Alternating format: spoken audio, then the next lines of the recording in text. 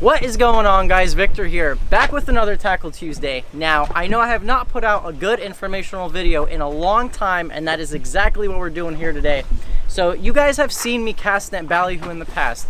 We like to use these in South Florida, offshore, inshore, mutton snapper, dolphin, all sorts of stuff. And one of the many uses that you can use ballyhoo for is to troll offshore.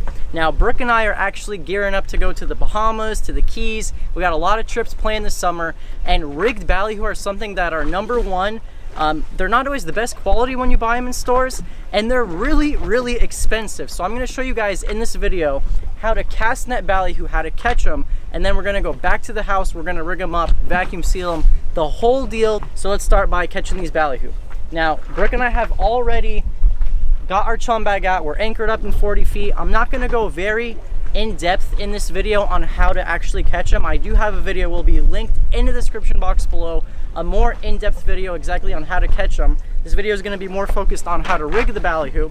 So, but I just wanted to show you guys, you know, from start to finish of how we catch these things and uh, then rig them up. So I got my eight foot net right here and this is actually one of our sponsors one of my sponsors barracuda cast nets they sent this net over and i'm very excited to use it because this is literally the second time i've thrown it. And if you guys know the feeling of a fresh cast net it always feels good. So let's go ahead and get this guy wet.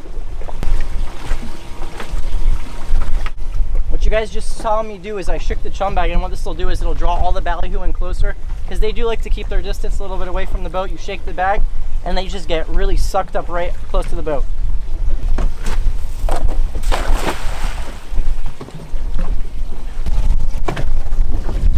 Got a decent amount. Probably around a dozen and a half, maybe two dozen ballyhoo. Come out here, just keep trucking away. Get yourself a dozen every throw. People rig these for wahoo, people rig these for dolphin. Uh, you guys can grouper fish with these, mutton fish with these. They just are such versatile baits offshore and inshore. And you got, you know, all different sizes. As you guys see, we are off the water now. I'm gonna show you guys how to prep this ballyhoo to rig them up for trolling. So the first thing we're gonna do is, um, I wanna get this off my chest and let you guys know I am not an expert troller, but I have done my fair share of knowledge and research on rigging ballyhoo and what this video really I want to stress with this video is to not overthink things when it comes to fishing. Being able to present your bait naturally is the number one thing, making sure there's no obstructions and to make sure things are streamlined, just like a lure. You just want things to look the right way and that's what I really want to get through because there are a million and one ways to rig a ballyhoo. This is going to be a very basic one. So the very first thing we're going to do is, um, if you guys see ballyhoo are very long and slender like, and they have a really long intestinal tract. So the first thing you're gonna do is take your thumb and kind of just run it along here and get all of the poop out of the ballyhoo. And especially when you catch them like we did, uh, like Brooke and I did when you chum for them, uh, they will be full of poop and guts. And now the reason I'm doing this, number one, it's just nicer when you you know when you rig these up and when you uh, bring them on a boat, you just don't want poop everywhere.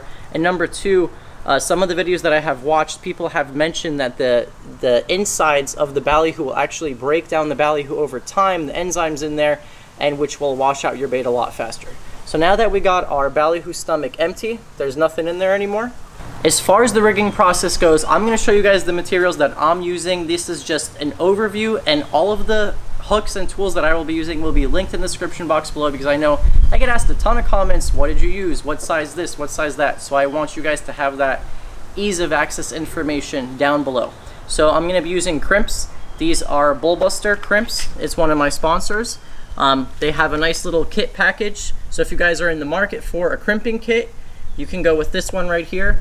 And then I'm gonna go with Mustad long shank style hooks. Now this is I mean, this is an industry standard when it comes to hooks for trolling.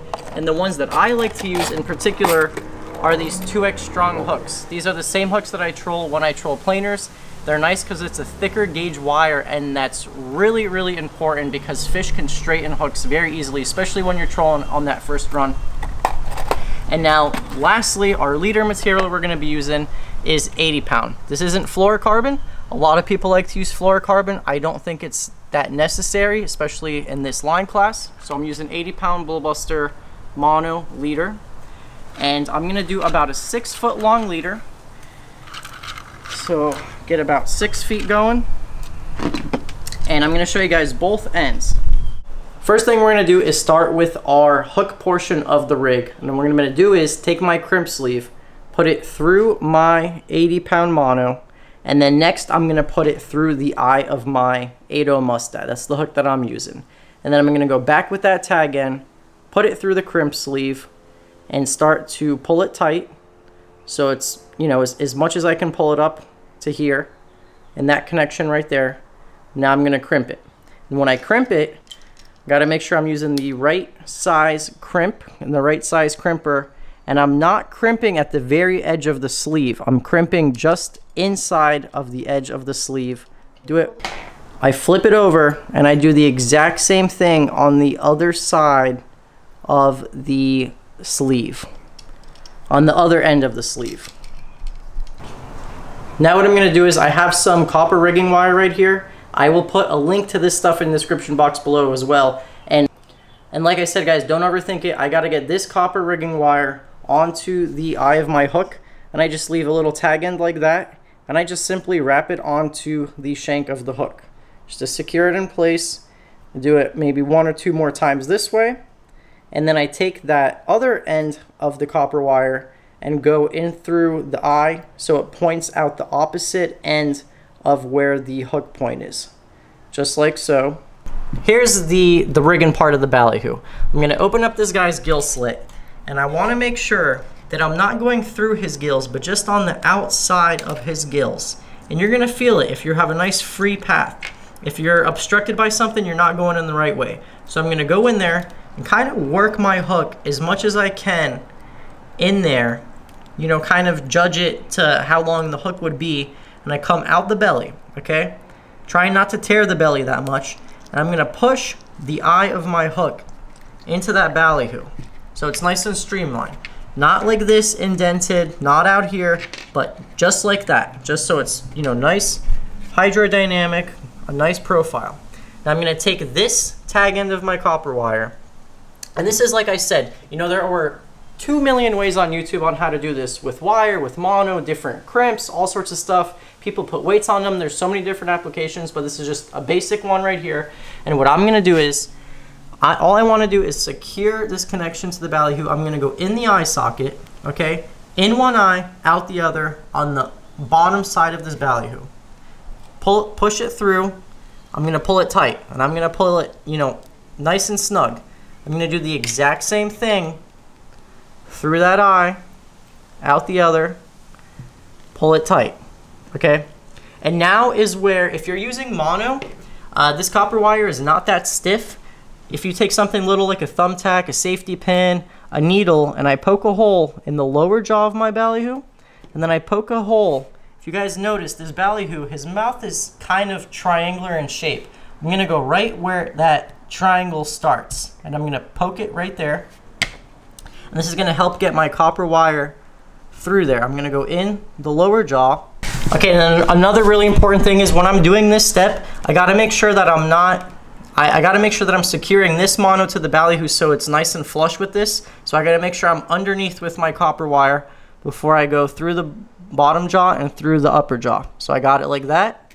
And now you guys see what I'm talking about. Now this mono is gonna pull tight against the lower half of this ballyhoo's jaw just like so. Because like I said, it's all about getting everything nice and hydrodynamic. Now I'm to go and I'm just to make a couple of wraps around his mouth and his bill just to make sure no water is getting in his bill. And there you go. And that's all you do. And I already kind of cut the uh, the mouth of this ballyhoo or the bill of this ballyhoo so that's what it should look like. This is the general overview. You can get as fancy as you want, as simple as you want, wire, depending on what you're trolling for. But that's what it should look like. You want it to be streamlined. You want your hook to be aligned with everything. You want to make sure that your ballyhoo is, um, you know, free. His back's broken. There's no poop or anything coming out. So this right here is a ballyhoo with a little squid skirt. And you just see that this just slides right over his bill. And what it's going to help in doing is when you're dragging it through the water, None of this is getting ripped up and it's just the, the skirt's gonna take the beating before the ballyhoo does to kind of just have that water rush over it and it's gonna prevent you from um, your baits getting washed out as fast. Also, some people just like it because it gives it a little bigger profile, a better presentation.